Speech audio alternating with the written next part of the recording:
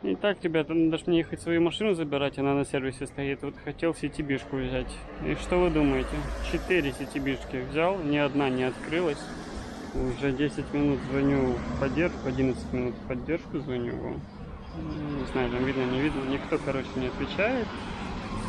Деньги списали, сейчас будем решать, что делать. Такси, короче, вызвал. Конечно, будет дороже, но вот за 4 машины списала. Короче, что-то CTB э, огорчает.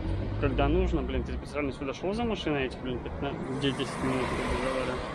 А вообще, блин, какой-то бред. Ну, ладно, чем это закончится, вам скажу. Какой-то дурдом творится.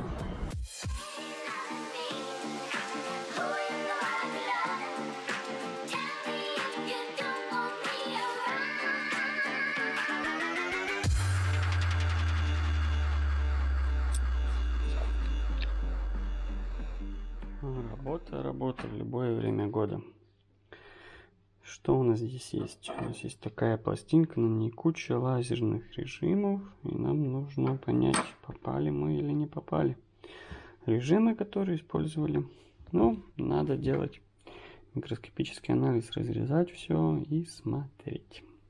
Снова мы в лаборатории, снова что-то резать и так дальше. Э, В общем, мы давно пропадали, видео, как всегда, что-то не вылаживается. Опять лето, повторяется лето прошлого года, что нет времени ни на что. Э, Поэтому, как сказать, ну, учимся, работаем. Все как всегда, все как у всех людей.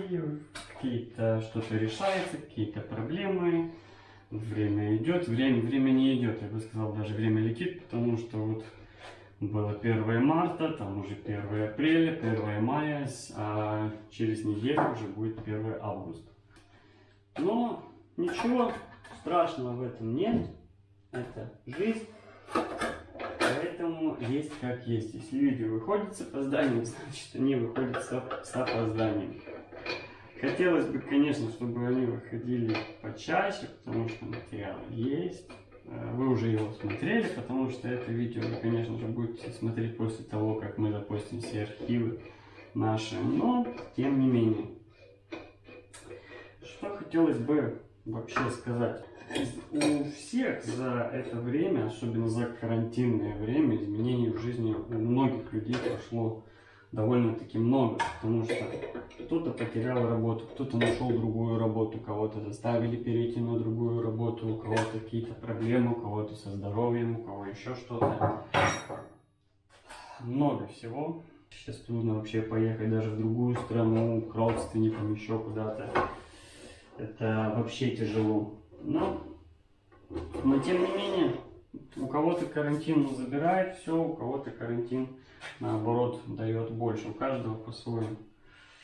Что касается нас, не знаю. Сказать что-то одно, что карантин супер, или карантин плохо, или этот вирус и все вот эти. А, честно, как-то даже нету времени всем этим про все это думать. Потому что ты постоянно чем-то занят, постоянно просто что-то делаешь. Вот даже сейчас лето, как бы сказать, э, июль месяц, да, вроде бы все в отпусках, а я пришел сюда работать. Э, чтобы вы понимали, чтобы вы понимали, сколько времени тратится на все. Работа есть, опять же, сидишь на работе в университете, еще ищешь дополнительную какую-то работу где-то подработать, потому что деньги никогда не бывают лишними. И как-то вот так, вот так все крутится, летит это время, просто, просто ужас. Поэтому мы, конечно же, будем снимать дальше, будем показывать, будет интересно, а, потому что немного изменится риторика канала, и это будут не только вот влоговые видео, это будут рассказы о том, что было хорошо у нас в Литве, что у нас было в Литве плохо, с какими трудностями мы сталкивались, как мы их решали, как нам помогали их, их решать. А, Какие есть законы людям нужно знать, а, особенно при рождении ребенка, при оформлении всех вот этих документов, есть столько нюансов для иностранцев, именно для иностранцев столько нюансов, с которыми мы столкнулись только когда начинали оформлять документы. Там страховка, обязательная страховка, медицина, врачи, все. Э, там какие-то выплаты, еще что-то. Это все очень тяжело. Но э, я обязательно подготовлю этот материал. Это будут отдельные видеоролики, кому будет интересно. Конечно же, в первую очередь это будет интересно иностранцам. Вы сможете посмотреть, понять, стоит оно того или не стоит. Э, ну, ладно, я пошел работать, и мы с вами встретимся немножко позже.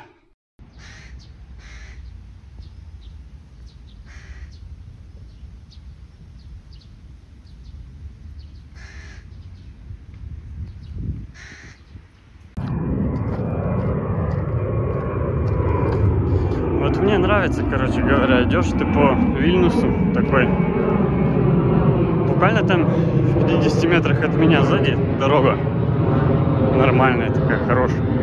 А тут ты идешь, все, дороги ничего нет. Ну вот мы едем. Я тут машинку взял. Едем. Ну вот я не понимаю, как здесь... Зим... Ну ладно, сейчас хорошо. А зимой здесь чистят дороги? Или как? Или просто кто проехал? Да, здесь типа частные сектора, все, ну блин. Это прикол, конечно.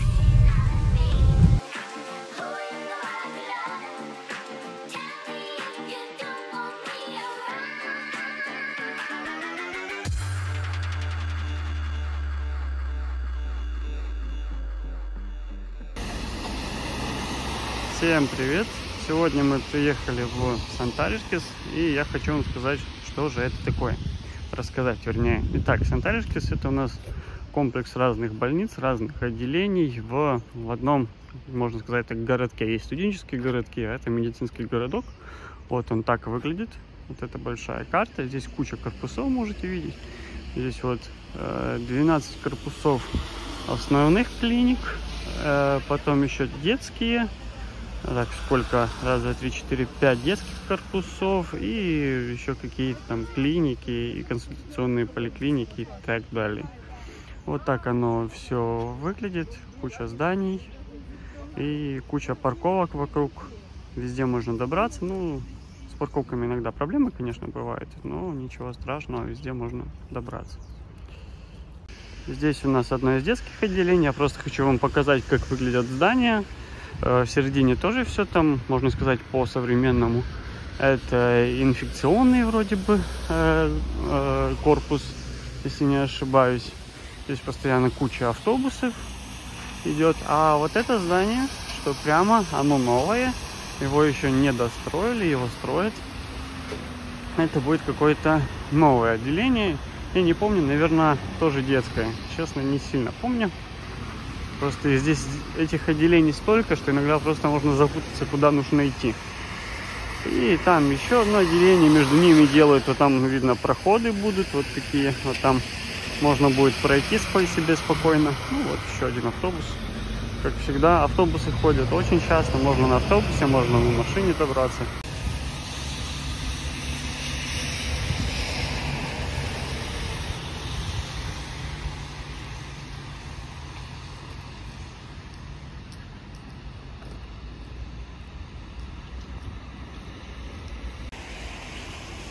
Вот так выглядит один из центральных корпусов. Здесь куча разных отделений. Они все соединены тоже э, переходами. И получается, в этих переходах можно походить между больницами и не бояться, что ты там где-то в одном переходе, э, в одном корпусе вещи сдал, а во второй тебе надо идти снова брать вещи. Нет, не надо. Вы можете зайти в один корпус, сдать все вещи, и потом уже, когда будете уходить, вернуться в свой самый первый. А, парковки есть, их много, но а, все парковки платные. Только если у вас там есть а, инвалидность, то тогда парковка для вас бесплатная. Во всех других случаях парковки платные.